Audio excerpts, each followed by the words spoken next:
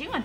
Thinking about how we can spend all that money we're saving since MTB installed our new heating and air system. Ah, Thinking sports car, huh? We're driving down the road, wind in our hair. I'm thinking furniture.